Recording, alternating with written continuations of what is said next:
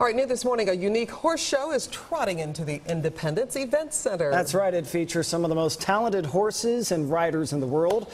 And Joel Nichols joins us now live with a sneak peek. Why the long face, Joel? Oh, that, now that's a good one. Good one, Patrick.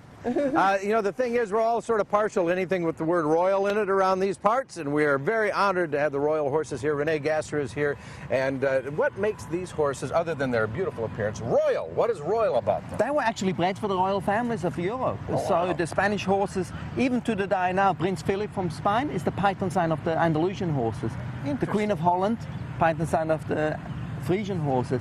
And of course the Lipizzan has been in the royal family. Gigi? Look at this. This- years. We've got Mozart and Gigi. That's it. Look at that. That and we'll beautiful. show you a little bit of action there. That's lovely. How do you, uh, how, what's the secret? You know, we all, we saw the movie The Horse Whisperer. Right, right. Everybody thinks that's the secret. You've been working with horses all your life. What's the secret to getting a, a beautiful animal like this to uh, be Yeah. comfortable doing this? Getting their trust and, and just learning, you know, teaching Right. just like an acrobat would or, or, or a dancer.